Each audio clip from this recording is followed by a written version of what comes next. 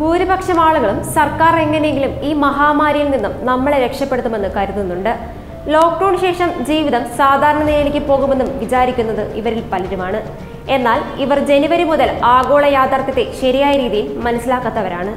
Lockdown നിർത്തണമെന്ന് വാദിക്കുന്ന ചില ആളുകൾ അവരുടെ ന്യായങ്ങൾ ശരിയാണെന്ന് തെളിയിക്കാൻ ഉപയോഗിക്കുന്ന അപകടകരമായ ചിന്തയാണിത്. പല രാജ്യങ്ങളും ലോക്ക്ഡൌൺ നടപ്പിലാക്കാൻ വൈകിയതും പെട്ടെന്ന് എടുത്തു മാറ്റണമെന്ന് ശടിക്കുന്നതും ഒരു പക്ഷേ അറിവില്ലായ്മ കൊണ്ടാകാം. അറിവുണ്ടായിട്ടും ഇതുമൂലം സാമ്പത്തികവും സാമൂഹ്യപരമായ തകർച്ചയോർത്ത് ഭയന്നിട്ടാകാം അതിനാൽ തന്നെ നമുക്ക് ഇതിന്റെ കൈപ്പേറിയ യാഥാർത്ഥ്യം മനസ്സിലാക്കേണ്ടിയിരിക്കുന്നു. ഒന്നിച്ച് രോഗം ഇല്ലാതാക്കുക എന്നല്ല ഇതിനർത്ഥം. കൂടാതെ ഒരു സർക്കാരിനും ഈ വർഷം ഈ രോഗം ഇല്ലാതാക്കാൻ കഴിയില്ല. ഒരു സ്വാഭാവിക രോഗശമനം ഉണ്ടാക്കുന്നവരെ അല്ലെങ്കിൽ വാക്സിൻ കണ്ടെത്തുന്നതുവരെ കോവിഡ് പത്തൊൻപത് ഇവിടെ തന്നെ ഉണ്ടാകും. വാക്സിൻ കുറഞ്ഞത് ഒരു വർഷമെങ്കിലും അകലെയാണ്. അതായത് രണ്ടായിരത്തി ഇരുപത്തൊന്ന് ഏപ്രിൽ ആദ്യകാല വാക്സിൻ പരീക്ഷണങ്ങൾ കഴിഞ്ഞ മാസം അവസാനം ആരംഭിച്ചു. ഒരു വാക്സിൻ നിർമ്മിക്കുന്നതിനും പരിശോധിക്കുന്നതിനും വിലയിരുത്തുന്നതിനും പതിനെട്ട് മുതൽ ഇരുപത്തിനാല് മാസം വരെ എടുക്കും. അതിനാൽ ഒരു വർഷം എന്നത് അക്ഷരാർത്ഥത്തിൽ ഒരു സുന്ദര സ്വപ്നമാണ്. എന്നിരുന്നാലും നമുക്ക് ശുഭാപ്തി വിശ്വാസികളാവാം. അതുകൂടാതെ സാധാരണ നിലയിലേക്ക് മടങ്ങുക എന്നത് ഇപ്പോഴത്തെ അവസ്ഥയിൽ സാധ്യമല്ല. സാധാരണ ജീവിതം കുറഞ്ഞത് ഒരു വർഷത്തേക്ക് ബുദ്ധിമുട്ടാണ്.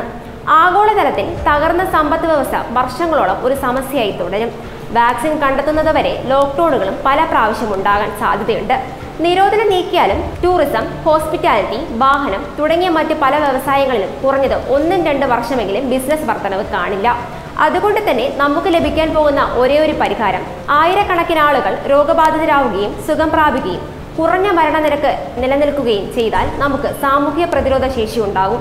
അത് ഇപ്പോഴും തെളിയിക്കപ്പെടാത്ത ഒരു സിദ്ധാന്തമാണ്. കാരണം ചില രാജ്യങ്ങളിൽ ആളുകൾക്കിടയിൽ വീണ്ടും രോഗം ശക്തി പ്രാപിക്കുന്നുണ്ടെന്ന് കരുതുന്നു. രോഗസാന്ദ്രത കുറഞ്ഞ സ്ഥലങ്ങളിൽ പോലും സാധാരണ നില സാധ്യമല്ല. സുരക്ഷ ഉറപ്പാക്കുന്നതുവരെ ഒറ്റപ്പെടുത്തലുകൾ തുടരും. രോഗശമനം അല്ലെങ്കിൽ വാക്സിൻ കണ്ടെത്തുന്നതുവരെ സെപ്റ്റംബറിൽ നമ്മുടെ രാജ്യത്ത് രോഗം ഉച്ചസ്ഥായിയിലെത്തുമെന്ന് വിദഗ്ധർ അഭിപ്രായപ്പെടുന്നു. അതായത് സാമ്പത്തിക മാന്ദ്യം ഉയർന്ന മരണനിരക്ക് അനുബന്ധ കുഴപ്പങ്ങൾ എന്നിവ അതോടൊപ്പം നേരിടേണ്ടിയും വന്നേക്കാം. കേരളത്തിന്റെ കാര്യത്തിൽ നാം ജൂൺ മാസത്തോടെ പ്രളയക്കെടുതി മുൻകൂട്ടി കാണേണ്ടതുണ്ട്. രോഗം അപ്പോഴും നിലനിൽക്കുന്നുവെങ്കിൽ റിലീഫ് ക്യാമ്പുകളിലും മറ്റും അതിരൂക്ഷമായ അവസ്ഥകൾ നേരിടേണ്ടി വരും. ലോക്ക്ഡൌണിൽ എടുത്ത തീരുമാനങ്ങൾ മദ്യം സിഗരറ്റ് എന്നിവയുടെ ലഭ്യത സിനിമാശാലകളും മാളുകളും മറ്റും അടച്ചിടൽ സംസ്ഥാനത്തെ യാത്രക്കാരെ ക്വാറന്റീനിൽ വെക്കുക എന്നീ സാധാരണ ജനങ്ങളെ മനസ്സിൽ കണ്ടുകൊണ്ടാണ് നടപ്പാക്കിയിരിക്കുന്നത്. ഇതൊക്കെ പഴയപടിയായാൽ വീണ്ടും ഒരു പകർച്ചാ ഭീഷണി ഇവിടെ നിലനിൽക്കും. നമ്മുടെ ഗവൺമെന്റ് മിക്ക വികസിത രാജ്യങ്ങളെക്കാൾ വേഗത്തിൽ ഈ രോഗത്തോട് പ്രതികരിച്ചു എന്ന് സമാധാനിക്കാം. ബി സി ജി കുത്തിവയ്പ് നമുക്ക് ചില പ്രതീക്ഷകൾ നൽകുന്നുണ്ട്.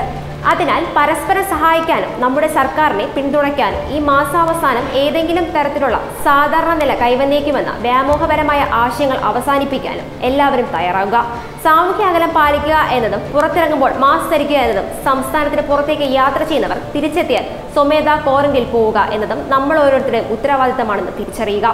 സാധാരണ ജീവിതം ഒരു വർഷമെങ്കിലും അകലെയാണെന്ന് തിരിച്ചറിഞ്ഞ് നമ്മുടെ ജീവിത രീതി അനുസരിച്ച് ക്രമീകരിച്ച് മുന്നോട്ട് പോവുക. ഇതൊരു തമാശയല്ല പച്ചയായ പരമാർത്ഥമാണ്. ശ്രദ്ധയോടെ മുന്നേറിയാൽ പ്രതീക്ഷയ്ക്ക് വകയുണ്ട്.